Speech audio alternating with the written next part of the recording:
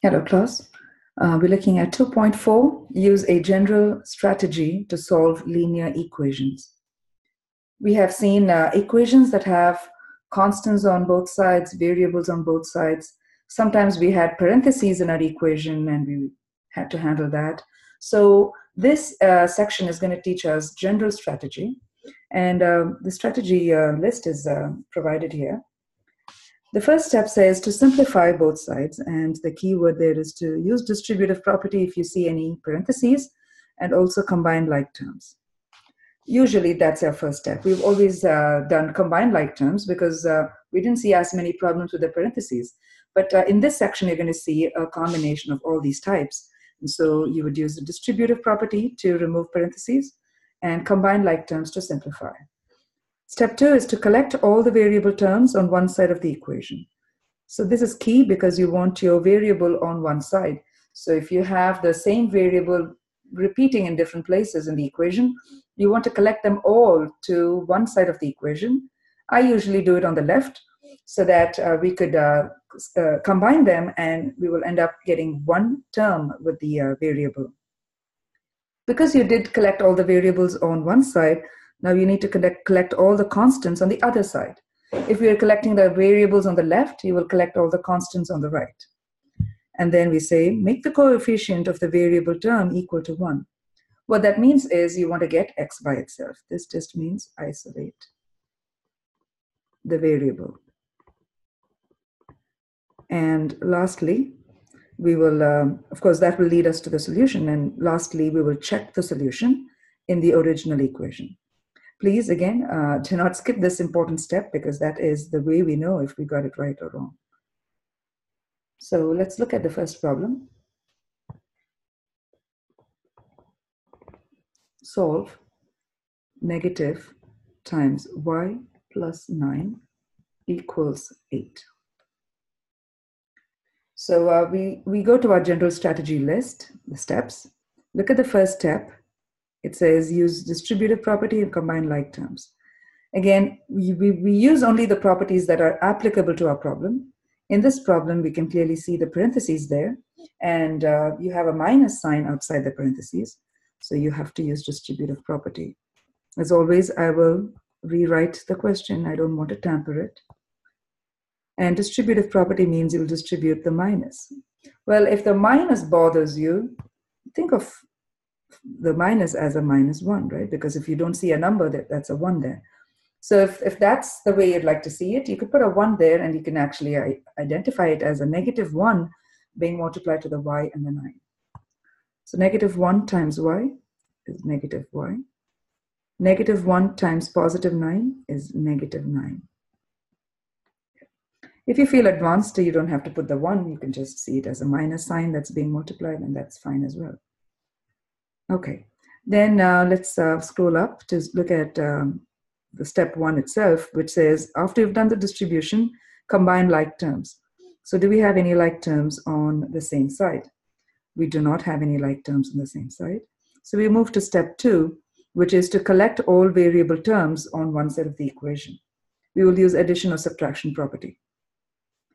Well, we have only one term that has the y, so technically your variable is already on one side of the equation, which means step two, we really didn't have to do anything there. Step three is uh, to collect all the constant terms on the other side of the equation.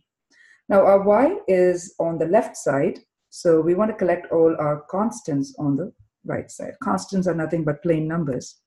So we have plus 9. Let's get rid of that by adding 9 on both sides.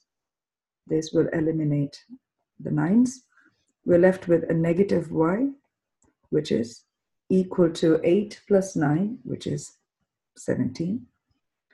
Then we move to step 4. Step 4 says make the coefficient of the variable term equal to 1. Coefficient is always a number that's attached to the variable. The number that's attached to the variable, you don't see a number, you only see a sign, but you know it's negative 1. We do not want a negative 1 there. We only want the y. We want to isolate y. So um, this step calls for dividing both sides by negative 1. Okay, if you want, you can put the 1 there so you can actually see why you're doing the negative 1. Okay. And divide by negative 1 on both sides. This takes care of cancelling off the negative ones up and down, leaving us with a plain y. Remember, the coefficient should be a 1. If there is no number in front of the y, we know the, the coefficient is 1. We don't write that explicitly, but I mentioned that because if you go back to step 4, it says make the coefficient of the variable term equal to 1. So we got that part. And 17 over negative 1, nothing to divide there because 17 over 1 is 17, but it's about the sign, so it becomes negative 17. Check the answer.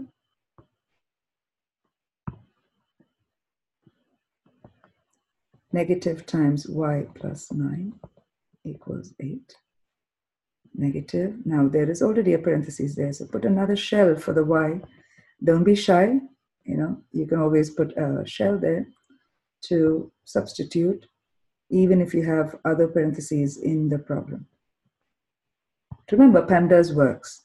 PEMDAS requires you to follow a certain order, but when it comes to parentheses, uh, um, the, the rule within PEMDAS is that you will start from the innermost parentheses and work outward. So the innermost is the negative 17, but there is no operation going on, so I simply can drop the parentheses.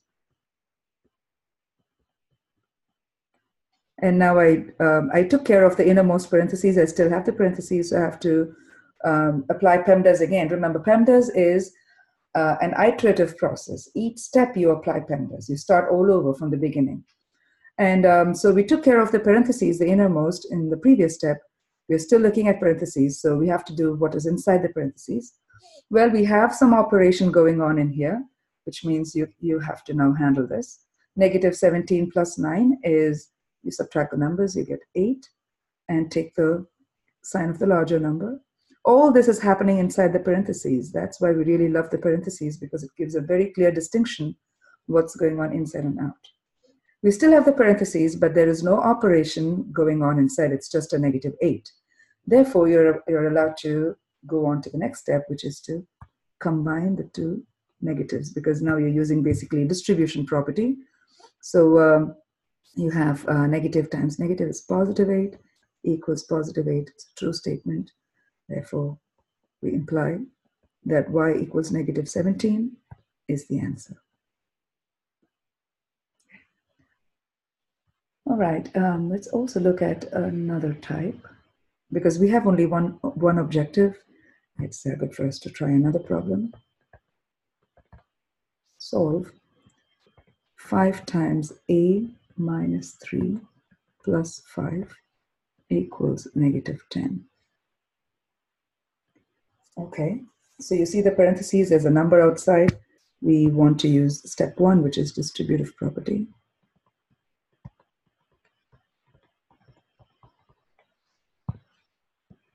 Distribute. So that will be 5a minus, because you're multiplying the 5, 5 times a is 5a, 5 times negative 3 is negative 15, plus 5 equals negative 10. Okay. So we use the distributive property in this step.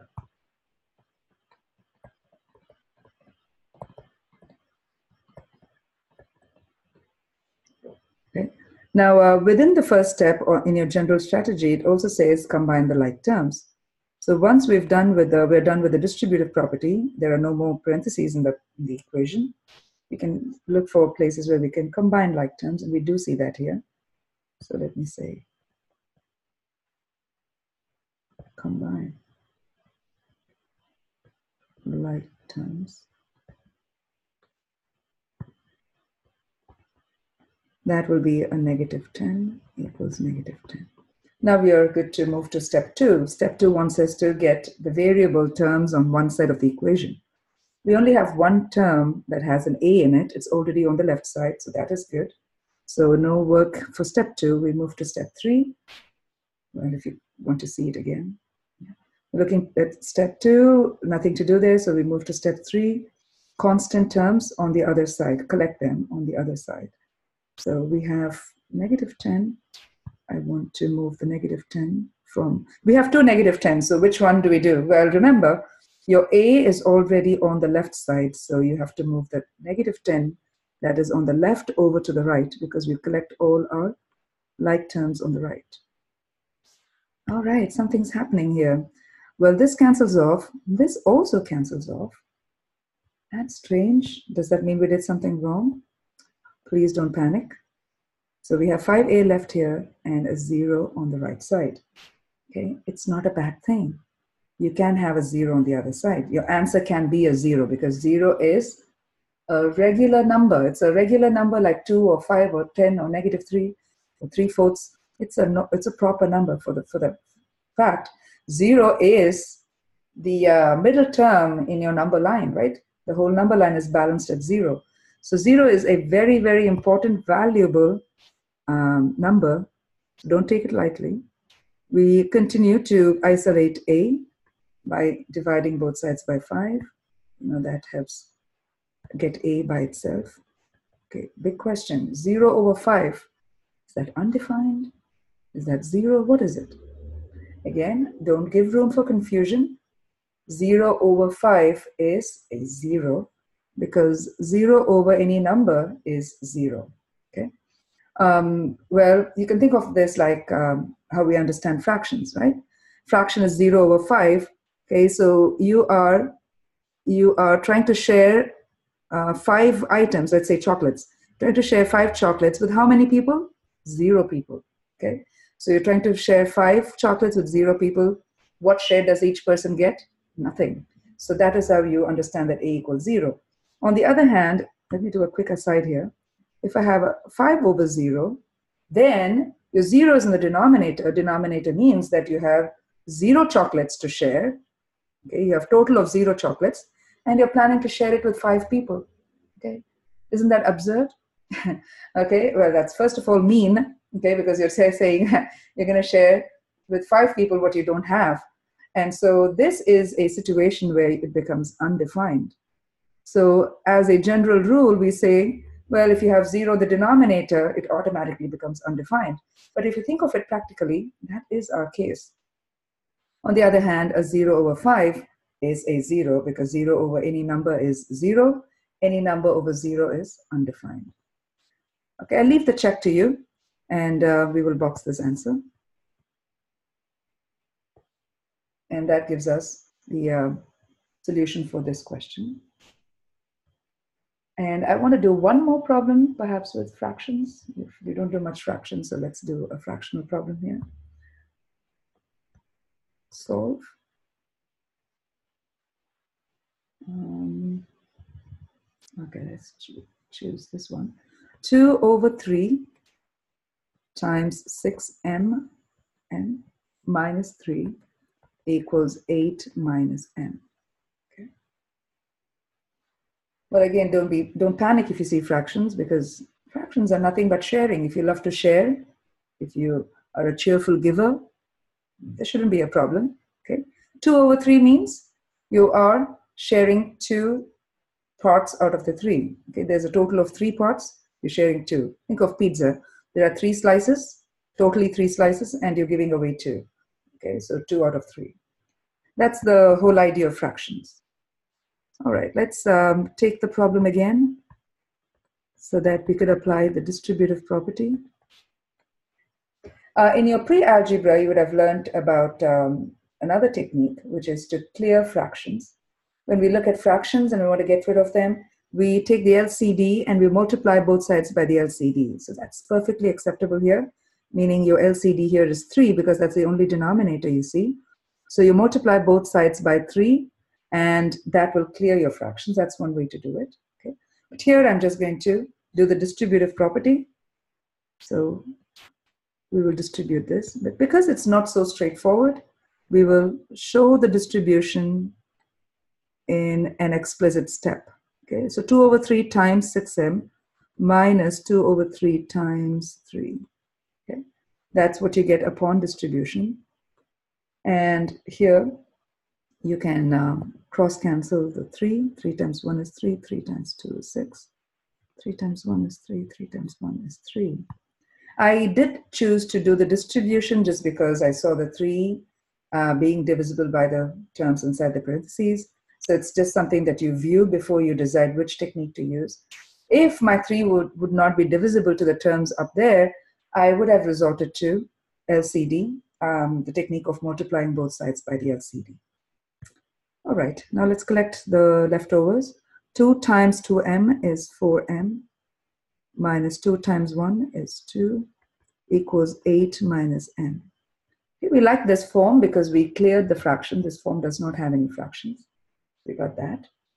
Now, um, we need to uh, go to, so this was step one. Step one was all this. We distribute and we simplify it. Okay, we got it simplified.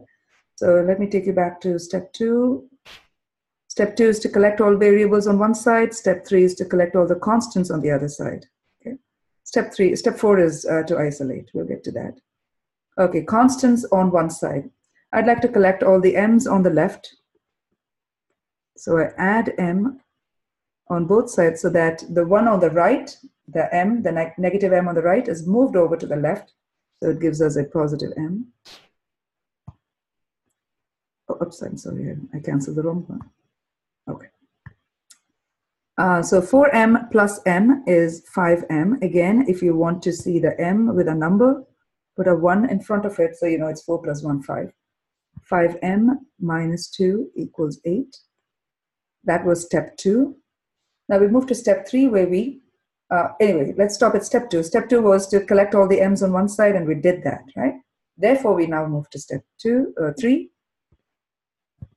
Step 3 is to collect all the constants on the right side. Get all the constants there. So we move the 2 over to the other side. 5m equals 10. 8 plus 2 is 10.